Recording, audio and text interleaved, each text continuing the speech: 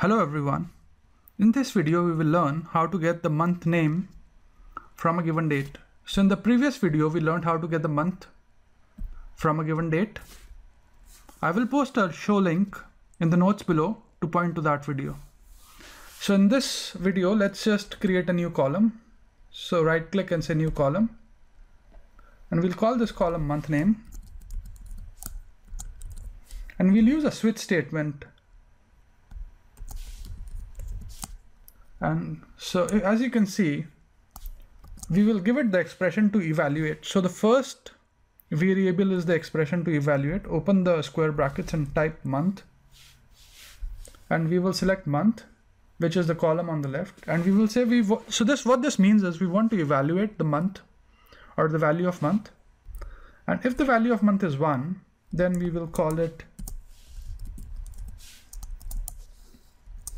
And when I press enter, you will see that we get month name and where the month value is one, it gives us January, but everything else is blank because we've not evaluated for other values or we've not given an expression for the values.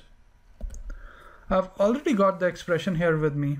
So what it means is this one, that we will evaluate month. If the value of month is one, then we have January. If the value of month is 2, we have February. If the value of month is 3, it is March and so on till December. So I'll just copy this function and I will just paste it here.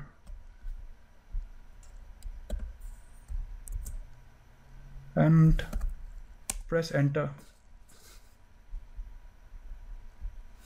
And as you can see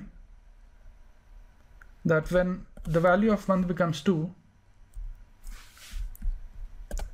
we've got March, then we've got April, we've got May, we've got June, and so on.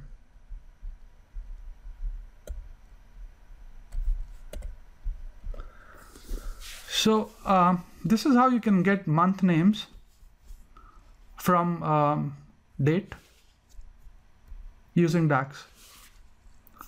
I hope you find this video useful and thanks for watching this video. Uh, I will post the script in show notes so you can copy the scripts from the show notes. Thanks.